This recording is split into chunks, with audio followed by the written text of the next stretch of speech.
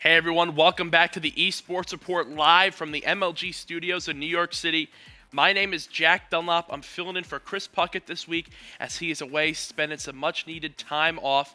Now, I've been seeing people in the chat asking where Chris is. I'm seeing people talk about season three. I'm seeing people talk about how Optic and EG are neck and neck. But on the show today, we're talking about Justus and Elevate. Now, we just went over game one of Justus versus Excellence on their best of five series to see who gets the season three placement. Now, Doubt went huge in that first game, showing why he has the best overall KD of the entire squad in the last couple of events. Now, we have to move on to game two, where Excellence is now playing from behind to see if they can swing the momentum into their favor. Game two, obviously an S&D and a crucial one because you never want to go down two to zero in a best in five, best of five series. But let's see if Justus could take it. Let's get into the game get that away. So they will have the plan again, similar to round one, but they are down guys, similar to round one as well. BLFire and Doubt are going to be up against all four members. Here we go. BLFire spots a player on the flank. That's going to be accuracy. Manages to pick it up, but he is going to be one shot now in a 2v3. A little bit more manageable than that 2v4. And he does go down. Down now. Last stop. Picks up a good kill. Goes for the two piece. Can he get it? Player down below. Still bobbing and weaving. Gets the headshot, but Snipe down with a nice kill. 4 and 0 having a fantastic game getting the bomb defusal. Doubt almost went hammersaw. Yeah, right Doubt got all three of those players just bobbing and weaving on the stairs there. That would have been wow. absolutely insane. That but would. the snipe down stays composed, able to clean up that last kill. Frost Eyeball trying to be aggressive here. Not going to win that gunfight. Doubt will take him out. Accuracy going to push out, but there's another player behind him. He's about to get shot in the back. He gets in the building in time, stays alive.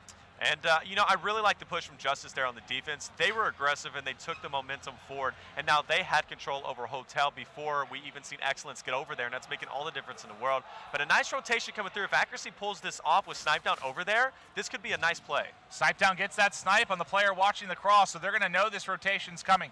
You should see that player in Motel start to rotate over. Or he's just going to put shots and Snipe Down. They got plenty of time to get this down. There's going to be a Pence coming here. It looks like from one's going to push bottom broken. One's going to be coming coming back from that outside spawn, and uh, this will be a big gunfight. Snipetown's not looking in the right position. He might get taken out here. Uh-oh, going for the quick scopes. Can he get it? Try to go phase optic style.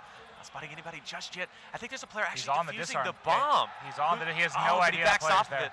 There he goes, Snipetown spots, spots a player, top broken. There's going to be a player challenging from the left. Will he be able to get this kill? No, he does not. BLFire with a nice clutch play. And now they're going to be dropping a breadstick, finally getting on the board. This could be a momentum changer and that player on the bomb, we'll yeah. see if Doubt's able to see him. People do that so often, you think they'd check for it, but uh, oh god, such an easy pick there. He knows the guys in the back as well, but nice shots there out of Sin with the LMG. Oh, and a nice kill also from Sinful, leaving it up to Snipe down now. Poor So in a 1v3. Let's see if he can do this. Spots a player. Can he get it? No, can't get that lucky. And oh, with the wall, that, and that's why we hate LMGs. Yeah. There's going to be a player also going bottom broken. Oh, Snipe down is oh, right. Oh.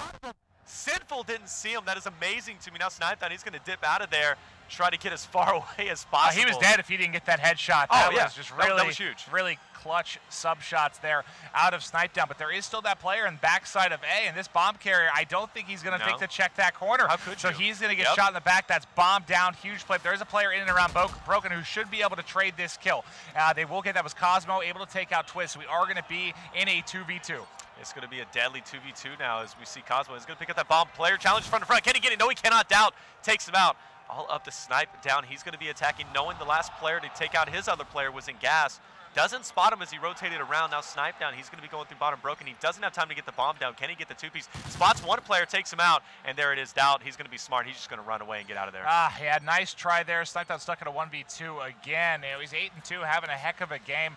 Good job checking his corner there to pick up that eighth kill, but some doubt is he was just out in the middle of nowhere. And Cosmo making a really good rotation here. He's going to be uh, really unbeknownst to Justus. You're, you really can't predict that he's going to be on this flank. Well, no, I think uh, they know his player just got out. This, this guy is looking right here for him to come. I actually think this is going to be a tough fight for him to win as that player is prone staring at this jump off. But Cosmo knows there's a guy top off, knows it was called out. Great patience there. He's waited. The player just into rotate. He's going to shot in the back. That was really well done by yep. Cosmo. He knew that guy was waiting for him, waited, uh, just really some timing on his side. The second he rotated out to help his teammate, shot him in the back. Estimary, let's get on board with Twiz. Maybe. Yeah, we'll see if he can get this first pick. You know, that player actually for the first time went where he's been looking, but not able to see him with the smoke that is Look everywhere. This, I believe though. from his own team. Yeah. Uh, Sin getting aggressive through here. Big A push. Good timing there for him. Going to be able to clean up die ball. One top nice. Great play out of Sin. Nice two-piece there. And we got Dow with the player to the left What a quick round. Justus with an exclamation point comes out. Snipe down uh, has a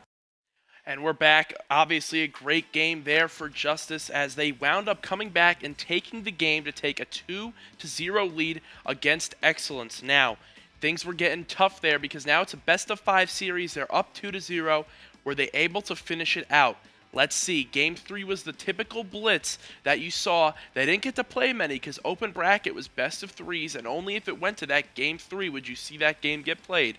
But game three was a freight blitz, so let's see if they could sweep the series and get their season three placement that they dreamed of getting setting a standard now uh, for, for an AR work. I don't know, but 2-2 is going to be the score. BLFire on your screen pushing forward. It is going to be two down once again, so we'll see if he can uh, get a capture as the spawns now are going to be over on red. He does have a little wiggle room to get in here. He only really has one to beat. He should be yeah. able to cap here. He's going to see him. Sniped out hiding in the corner, so that should be an easy cap for him. Going to fly through. 3-2 uh, advantage now for Justus. Good play there by BLFire. Unfortunately, the positioning from Snipe down a little lackluster. He saw him poking out. Yeah, and uh, Cosmo now bottom beer as well. He's looking to make a capture here if he can. This is such a crucial spot to be in because really you can just uh, relay some captures up here and really not be known at all as we see Justus heating up. Now three go down once again is, uh, or excuse me, Excellence, my bad, is going to be bringing up three up. Is uh, Justus now just fighting for some map position? They're really turtling right now, basically because oh, they're forced God. to. But a nice look at that Ty Diabolic. Look at this guy going up, getting the four all four. Oh man. Good effort there, though. I mean, he did enough damage in the base here to at least allow yeah. his team to get four, uh, get a fourth cap and also get a crossman back to right. continue to apply pressure. The lead will extend to two here for Excellence. Diabolic going to lose that gunfight. Only 45 seconds left to go and uh, make that seven caps here for him. Yeah, seven caps. So 7-4 is uh, Excellence starting to look really good. Like I said, Justus just doesn't perform well on this map. And uh, Excellence, they're playing some good COD at this moment just constantly pushing up. And, and, and, you know, the funny thing is, is I think Justus right now is probably on uh, probably on the better side, too, of this map. So surprisingly, they're not doing as good as I was expecting. Twiz, though, with a nice assist as another capture goes in. And Twiz can bring it down 6-7 here. This is going to be a big kill up front as well as a big two-piece. Can he get it? No, he cannot get shut down. And uh, I think that's going to be all she wrote probably for both sides until we go second half. Yeah, I like they tried to pre-fire that back wall. Unfortunately, he chose the wrong side, not able to get both players. But the time will wind down. Uh, I don't think anyone in no. great position. Well, maybe Diabolic actually. He Wait might be able. He, he does. plenty of time. Good job. Extends the lead to three as the final seconds. Uh, BLFire, I mean, from a cap standpoint, he's leading the way with caps. Yeah, 12 and 14 with five caps is obviously hugely respectable. He's having one heck of a game, but. Uh, this one, I really just think this is Justus's to lose, even though you see via the Oracle, there, there's a couple caps that may be coming in for Excellence right now. Basically, all of their players are on the other side. Yeah, they are, and we see Diabolic looking to make in a slide into the DMs. Unfortunately, he was denied. You know, it always hurts to get denied. However, accuracy, though, is going to go in. Oh, wait a second, shut wow, down by. Twiz. That hurts. Place. Just getting on that spot. I think it really is a tight one. Under two to go here. Doubt opening the front door. There is a player playing defense on the right. Going to be able to clean that up. He's had one coming in the back door. I, a little bob and weave there, but unfortunately he had a guy to the right as well, but he will be bait for his teammate to fire one through.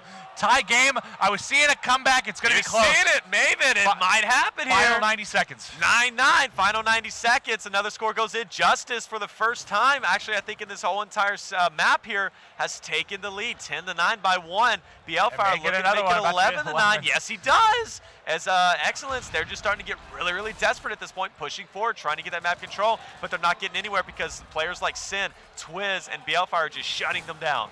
Yeah, really good job at the end here. Good nice. defense, good overextensions by the couple players that have been able to sneak through. I think that was BLFire. I think that had the nice, nice route yep. to cap that one.